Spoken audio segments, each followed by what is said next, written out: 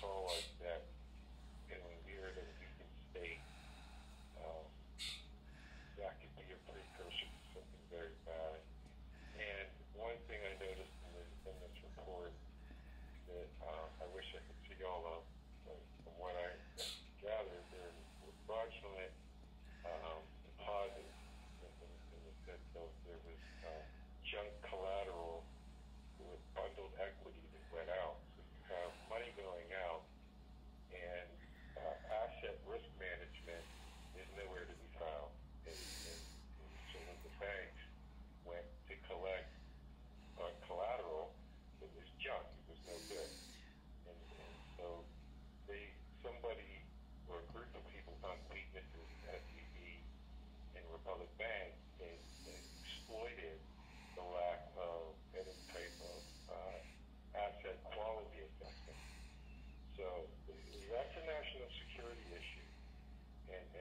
that everybody understands that if, if we have a weakened